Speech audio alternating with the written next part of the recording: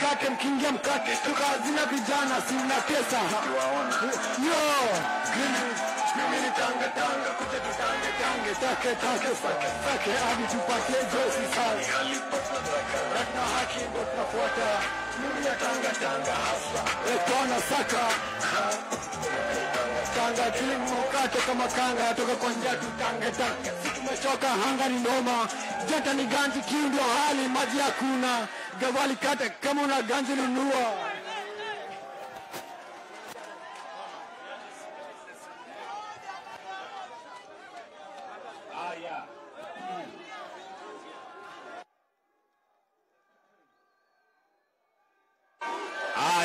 Haya. Makadara hamjambo? Mvita bwana asifiwe. Mambo. Mambo. Hebu mnigotee, mnigotee, mnigotee, mnigotee kila mtu. Basi mimi kwanza nataka nichukue nafasi hii nimshukuru Mungu kwa kutupatia nafasi tufike hapa Mombasa na tufike Mvita na tufike katika uwanja huu wa Makadara. Asanteni sana wangwana wa Mombasa kwa kutukaribisha. Leo nimefika hapa ili tuweze kusalimiana na tuweze kupanga yale yanayotungoja mwaka ujao tukienda mbele. Sawa sawa. Hapa Mombasa kuna mambo tumeshirikiana na nyinyi tukayatimiza.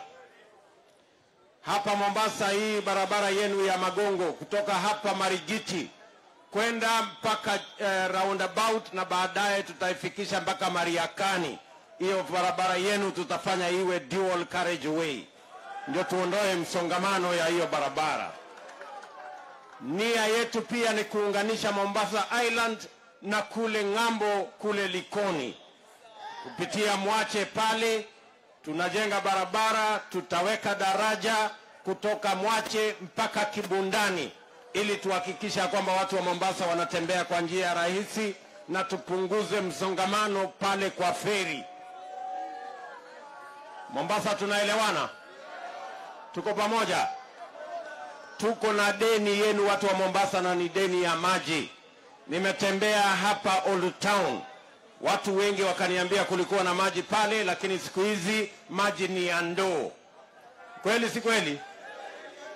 Maji nimeona ni ya ndoo hapa. Mi nataka niwaambie watu wa Mombasa, huu ni mji wa heshima na haitakikani Mombasa iwe ni mji maji inapatikana kwa ndoo.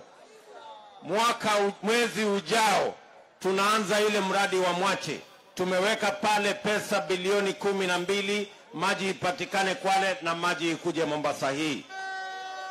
Tuko na deni yenu ya eh, mambo ya mzima tu ambayo tulisema tunaweka pale bilioni thelathini maji ipatikane Taita Taveta na maji pia ije hapa Mombasa. Mimi nawaambia watu wa Mombasa, haitakamilika mpaka tuwapatie maji. Maji Mombasa ipatikane kila sehemu, maji masafi, na tuachane na biashara ya kuuza maji kwa ndoo. Tunaelewana watu wa Mombasa? Tuko pamoja? Tumejenga teknolojia shule hapa mbili, tumeongezea ya Technical University, tumepanua nafasi za vijana wa Mombasa kujipatia elimu ya ufundi na teknolojia, kwa sababu tunataka kuwatayarisha vijana wa Mombasa wakati tunatayarisha vijana wa Kenya ili wajumuike katika kupeleka taifa lao mbele, mbele na kaunti yao mbele. Sawa sawa, wangwana wa Mombasa, tuko pamoja lakini mbali na hiyo kazi yote bado tuko na kazi muhimu ambayo haijatimika. Vijana wetu wengi, sio Mombasa peke yake, sio Kenya, vijana wengi wamekamilisha shule, wako na certificate, wako na diploma, wengine wako na degree, lakini hawana ajira, and that is the priority any reasonable government must focus on going forward. Naelewana wa Mombasa, tuko pamoja. Nataka niseme hivi, vijana wengi wameingia katika uhalifu, wengi wameingia katika madawa, wengi wameumizwa, wengi wanauawa, na sio makosa yao. Hakuna mpango ya wao kupata ajira ndio waweze kujisimamia na waweze kwenda mbele, and that is the priority we are saying as the Hustler Nation. Mwaka ujao priority ya kwanza ni kubadilisha uchumi ili vijana wetu hawa wapate nafasi ya kupata ajira. Tunaelewana wa Mombasa? Tuko pamoja? Ndio nimekataza wale mabwenyenye, nikawaambia wacheni kutusumbua na mambo ya kubadilisha katiba, wacheni kutusumbua na mambo ya rege. Ngojeni kwanza tubadilishe uchumi, vijana wetu wapate nafasi ya ajira kabla mjatuambia tubadilishe katiba, mukawane vyeo, muongeze mamlaka, ile itagawanywa na viongozi. Las, lazima tubadilishe kutoka viongozi, lazima tushughulikie mambo ya wananchi. Ndio nimefika hii Mombasa niwaulize watu wa Mombasa, nyinyi mnataka tubadilishe katiba, viongozi wagawane vyeo na mamlaka, ama mnataka tubadilishe uchumi kwanza? Nauliza nyinyi Mombasa, mnataka tubadilishe katiba kwanza ama uchumi kwanza? Nataka tubadilishe uchumi, sio ndio vijana wapate kazi, sio?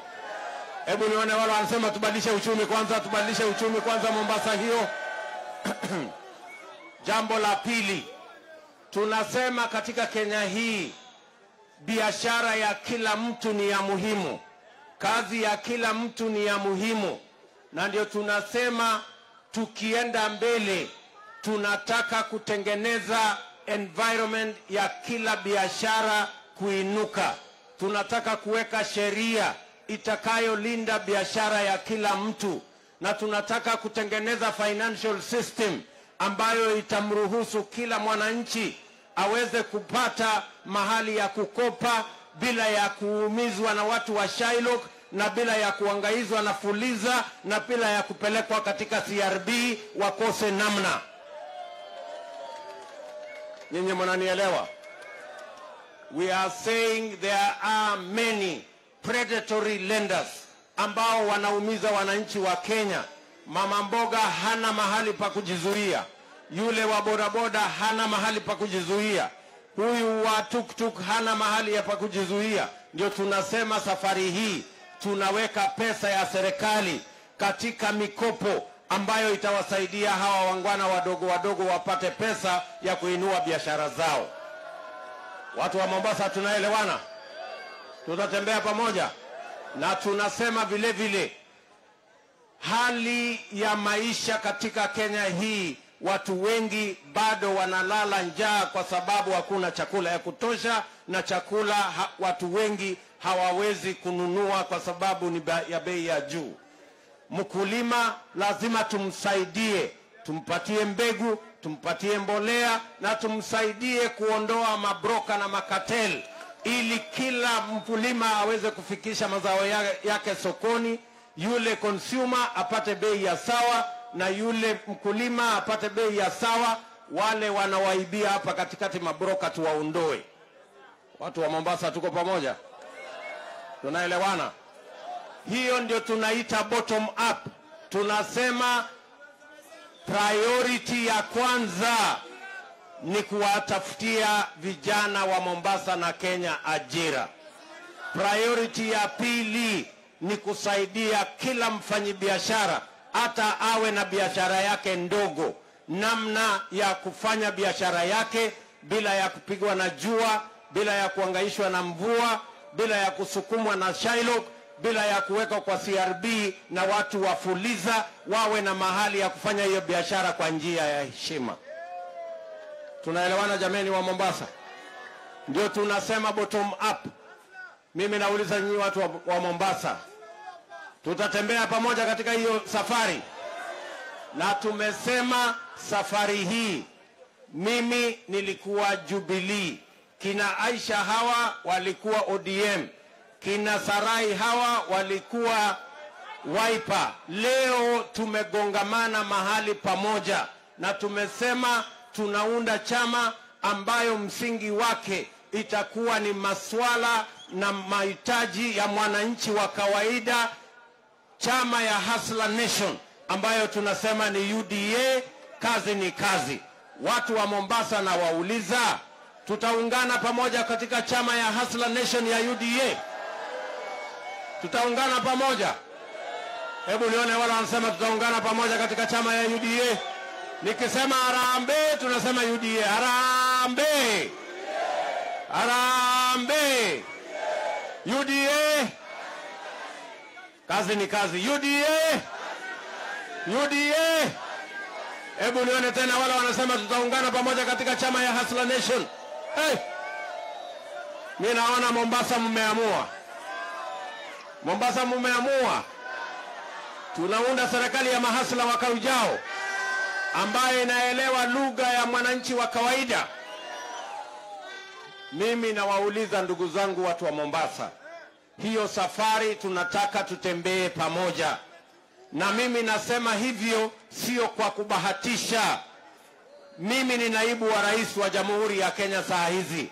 I know what I am saying and I know what works and I know what does not work. Tunaelewana my friends? Mimi hapa nilisaidia Raila Odinga 2007 nikamfanyia campaign mpaka akakuwa prime minister wa Kenya. Ni kweli si kweli? Mimi nimeshughulika na mambo ya Uhuru Kenyatta rafiki yangu mpaka amekuwa rais. Ni kweli si kweli?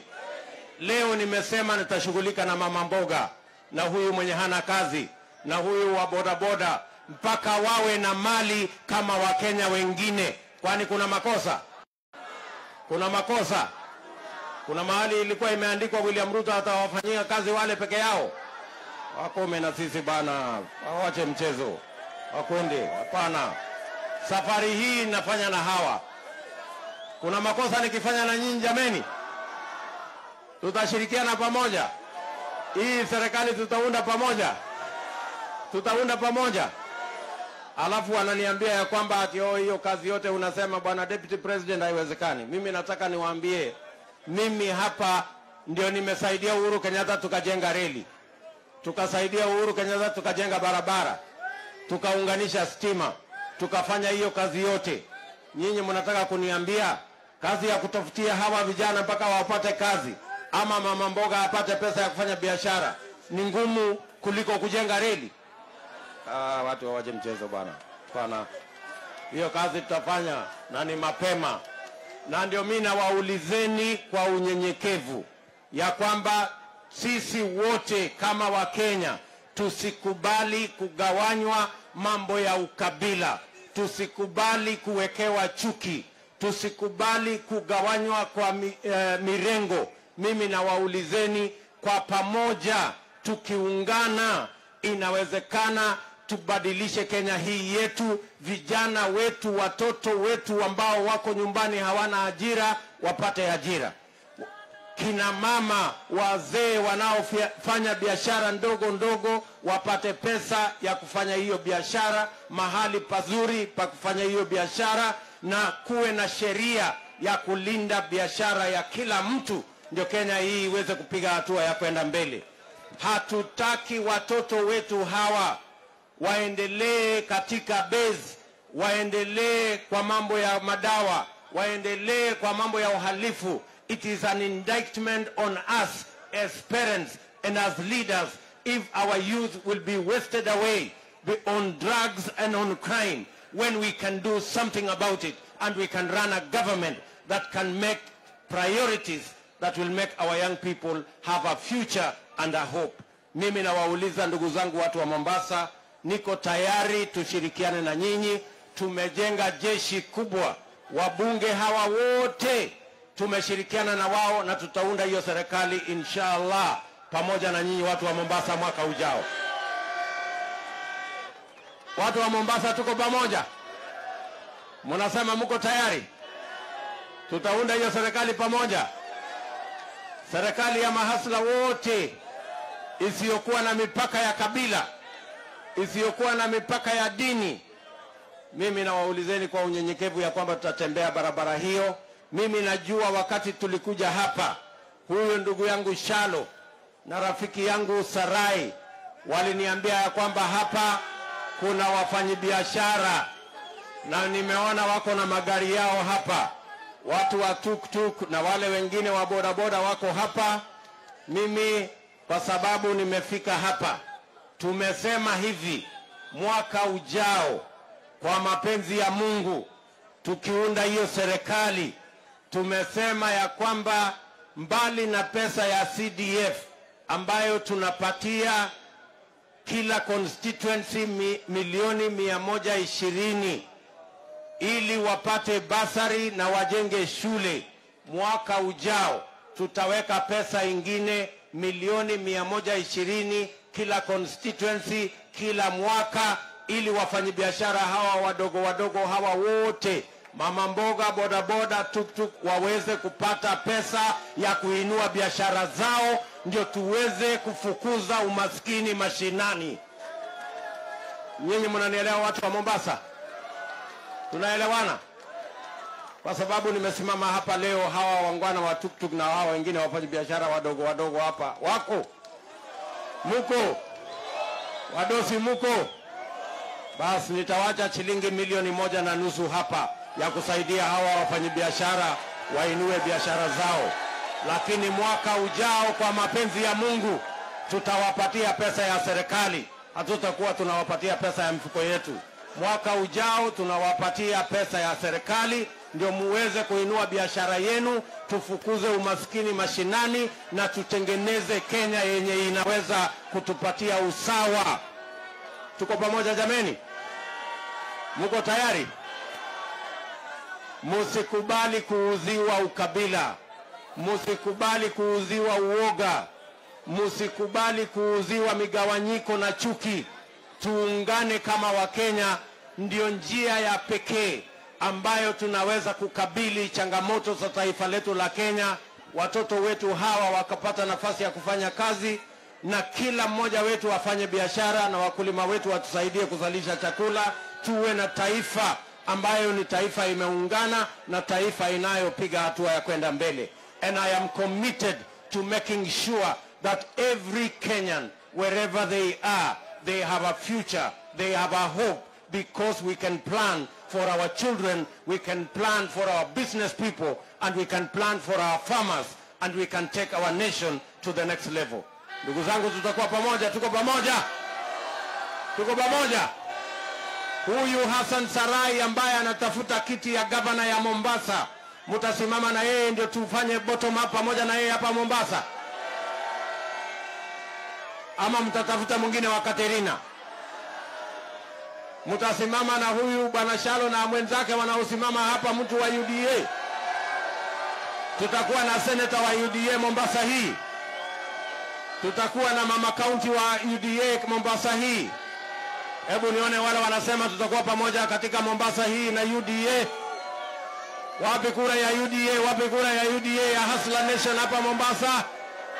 Basi mimi nimefurahi sana, nasema asante sana Mombasa. Mimi nawapa ahadi yangu ya kwamba tutatembea hii safari, this journey we are going together and we are going to change the destiny of our nation.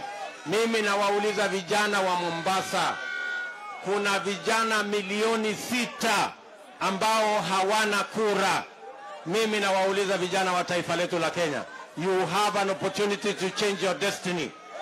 You have an opportunity to influence your future.